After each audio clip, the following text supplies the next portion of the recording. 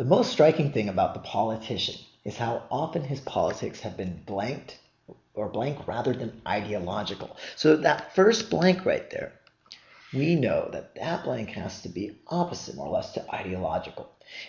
Luckily, we get a little bit more, and you should always you know hunt for those clues. It says as he adapts his political positions. So you're here's the key part. He's adapting his political positions at any particular moment to the political realities that constrain him. So breaking that down, he is being careful in his political position. He's making sure there's a reason why he's taking a certain political position. So it's not ideological, something he's fixed on, this is what I believe, but he's rather changing it depending on what's going on around him. So he's being what? And then you can see that the word strategic, which is answer choice C, works perfectly to describe that. So we didn't quite come up with our own word, but we broke down the passage, got the meaning, and we're able to match with the answer. Now, just in terms of vocab, quick, quixotic, answer choice A means someone that's really idealistic and, and impractical. And we're going for, again, the opposite of ideological. So quixotic would be a more extreme form of ideological. Definitely not the, the opposite. So again, the answer for the first blank is C. Now moving on to the second blank. This is the real hard one. This is the doozy, as they say. It says he does not, however, piously blank political principles only to betray them in practice. Now, if you plug in the answers, instead of thinking through this, you will get this wrong. And I think a lot of people say, oh, F. You know, simply follow political principles. But wait a second. Look at the part that says piously follow political principles. Let's assume it's follow political principles, only to betray them in practice. In practice means following.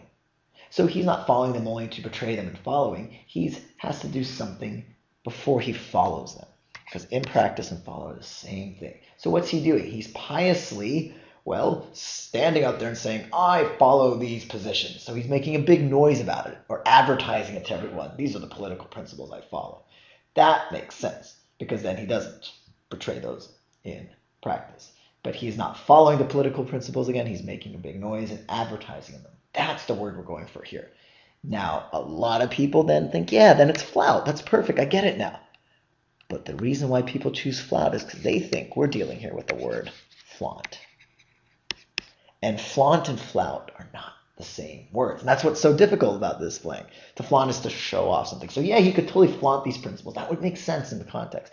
But flout means to disregard.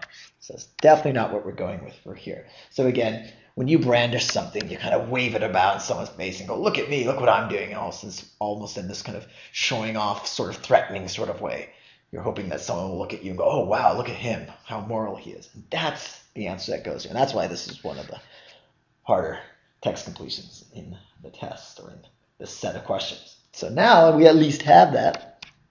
We can go to the third blank, which isn't too difficult, but there's a little trick here as well. It says, rather he attempts in subtle ways to balance his political self-interest with a blank. Again, we have a blank. What's the blank? Well, look after the comma. Here's the clue. Viewing himself as an instrument of some unchanging higher purpose. So what word or words speak to that? Some higher purpose. I am this instrument. This person is going to help you achieve this higher level. What, what is this all about, this higher purpose? The sense of a deeply felt moral code, which is answer choice H. So that's what you're matching up with unchanging higher purpose. Now, a lot of people say, oh, wait a second, though.